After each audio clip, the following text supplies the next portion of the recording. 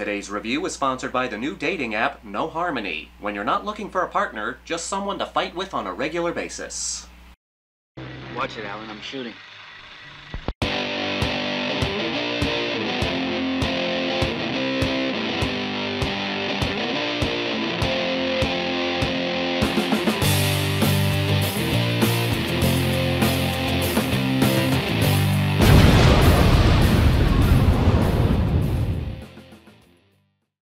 The Pack 2015. Okay. Go.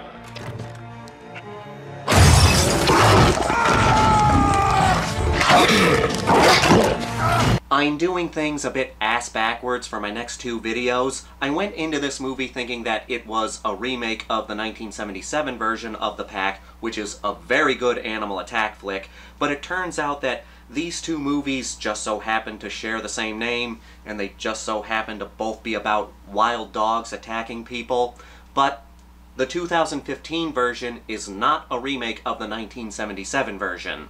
It's just a coincidence. I still wanted to talk about both these films because that's what I originally intended, and I've got a lot of problems with this movie. So I figured we'd talk about this film first, and then I'd talk about the good one next week. Last summer, they were pets. Now they are predators. The right move may mean survival, while each moment brings them closer to death. Just a heads up before we get going here, I am going to have spoilers in this video for the 2015 version of the pack. I do encourage you to check it out for yourself. True, I'm not the biggest fan of this movie, but you might like it more than I do, so I do recommend you check it out for yourself and make your own decision before watching this video. So with that, let's get into it. This is an Australian horror movie. The plot is very simple. You have this family that lives on a farm, which is about to be bought out by the bank because, of course, it's a common cliche. One night, a pack of wild dogs descends on the farmhouse, and the family has to fight for survival.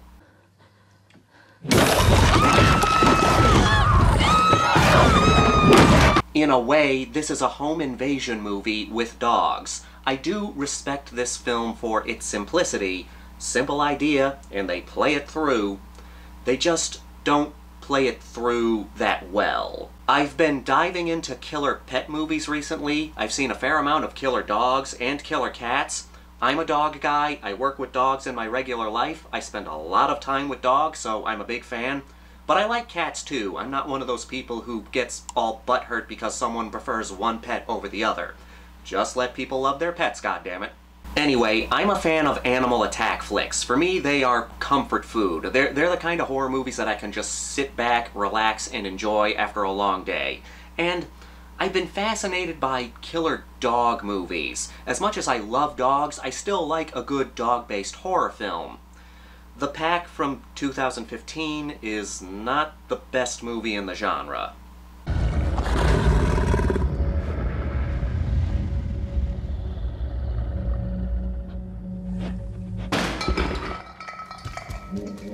I will give credit where credit is due. What I like about this flick is that it does not rely on stupidity to move the plot forward.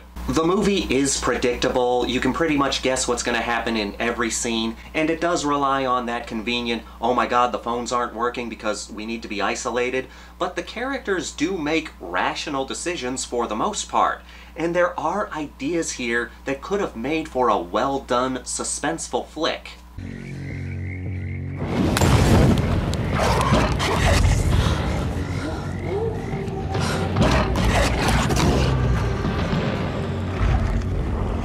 The problem is, the film doesn't take advantage of its ideas. I am very forgiving when it comes to budget and various other limitations when it comes to independent films, low-budget films, micro-budget films, you get the idea. As long as I see effort put into the movie. Whether it's a simple idea, a complex idea, a silly idea, or just weird as hell.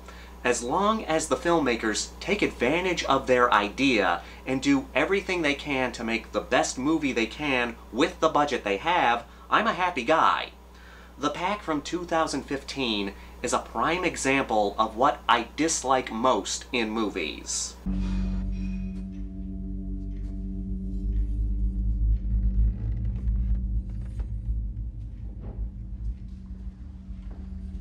The first thing I'll admit is a bit of a nitpick, but it's just the tip of the iceberg of the problems with this film. The movie is called The Pack. It's about a pack of wild dogs attacking this family. Now, there are two really good kills towards the beginning of the film where the pack rips apart some people. There are only two kills in this movie, but that doesn't matter as long as the suspense is good throughout the rest of the flick.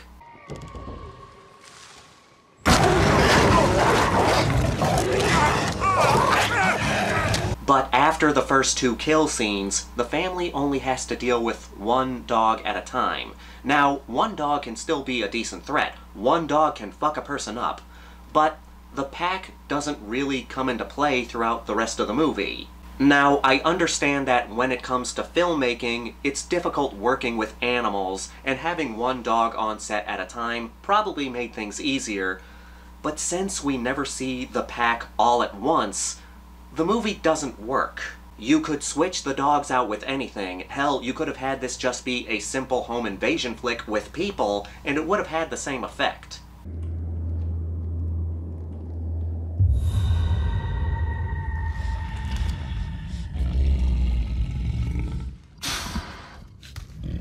But the biggest issue is that so many scenes build up to nothing. This is a horror movie that focuses more on suspense than anything else, which I love.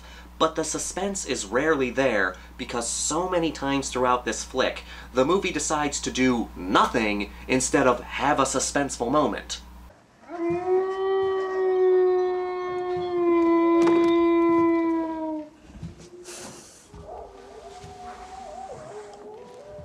There are a few good scenes where the dogs feel like a legitimate threat, but those few scenes are surrounded by moments that build to nothing. Things are set up in this movie, and they go nowhere. Here's where we're gonna have spoilers for the rest of the video, so this is your last warning. Spoilers in three, two, one. Okay, here we go. Here's the first example. The mom is in the house. She has hidden her kids in the pantry, and there's a dog wandering around the house stalking her.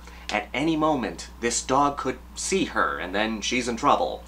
But she tricks the dog into a closet and then closes the door.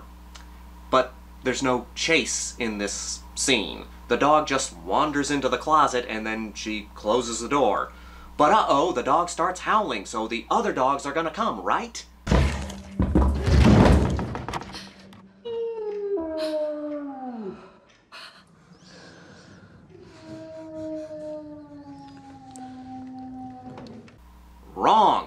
Everything's fine.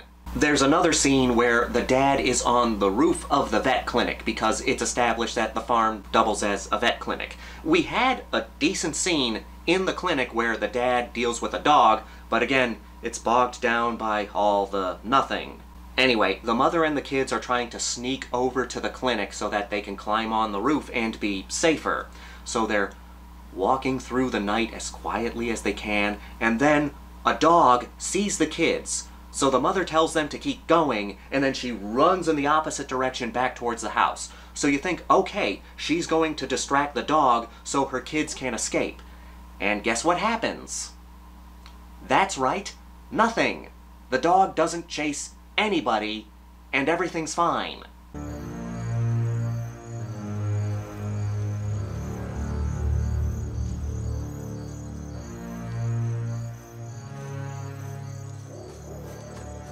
There are two things established early on in the movie that look like they're going to be set up for some suspenseful scenes later on.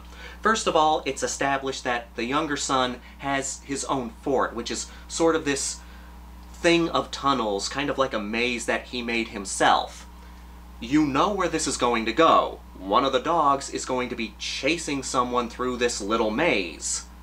That never happens. The brother and sister do end up in this fort to hide from the dogs, but not once does a dog chase them through this maze. There is one moment where a dog is walking on top of the fort, but the sister and brother are able to get out of this maze without any incident.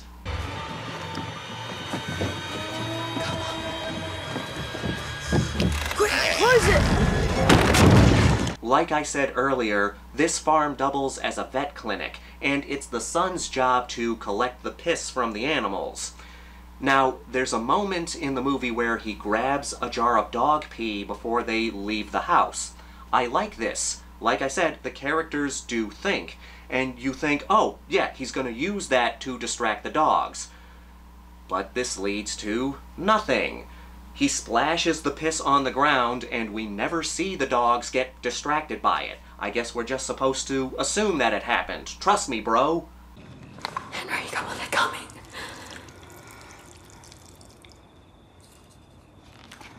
Quick. That's the majority of the film. Things are built up, and then there's no payoff. The kids are almost to their dad up on the roof, and they end up bumping these cans that they have hanging around that they're using for alarms. You would think this would lead to the dogs chasing them. But nope, they make it to their dad just fine. The family has this dog that disappears, and at first you're worried that this dog was killed by the pack, but that doesn't seem to be the case. So you're thinking, okay, the family dog is gonna come back in at some point. Like maybe the mom is cornered by the pack, and then in some big triumphant moment, the family dog returns and fights off the other dogs to save the day. Nope, that doesn't happen. The dog disappears, and then at the end of the movie, the dog comes back and is perfectly fine. Crawling through the dust and it's holding you at trust. I don't fucking get it. Okay, guys, I have this brilliant idea. We're gonna make this suspenseful horror movie, but we're gonna have no suspense, and we're gonna have people rarely be in danger. Once again, spoiler alert, but I think this movie would have been so much more effective if one of the family members died. There are only two kills in this movie, which is not a problem at all. Not every horror movie needs a high body count, especially when you're focusing more on suspense. But with this movie giving us so little, killing off one of the family members would have helped. But it never happens. You guys alright? Nobody's hurt. We're fine. Sophie, Henry. Yeah, we're here.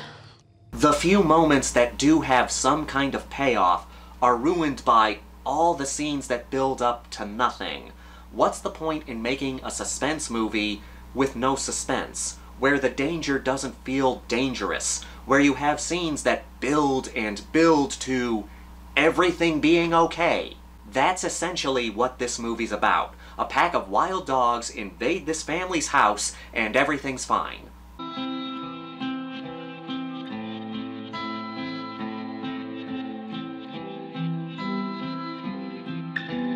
Falling from the sky. It's a shame. This movie could have been better. But next week we're going to look at the 1977 movie The Pack, which does this idea right. But until then, let's get to the Grindhouse rankings. We've got a body count of two. The kills are both dog attacks, and they are well done. The movie could have used one more kill. If one of the family members died, that would have amped up both the stakes and the tension. I do like the fact that this movie had a simple idea, it just wasn't used properly. And I do respect that the characters in this movie do make smart decisions here and there. It's nice to have a horror movie where the characters think. The tension is done poorly. There are so many moments where the suspense is ruined by having nothing happen. There are a few good scenes, but they're all ruined by the disappointing scenes. The movie puts in setup, but no payoff. There are moments that could have been suspenseful and scary, but the movie chooses to do nothing instead. It just feels like there are no stakes in this film. The danger never feels dangerous. I'm giving this a 2 out of 5. There are some ideas that could have worked if the film just took advantage of them. If you are curious, I guess check it out. You might like it more than me, but I just couldn't get into this one. As always, I want to thank all of you for continuing to watch and support this channel. Please leave a comment down below. Let me know some animal attack films that you found disappointing. This is the Maniac here to remind you that the Grindhouse will never die. Oh no, a wild dog just broke into my house. Oh, don't worry, he left. Everything's fine. Anticlimactic, right?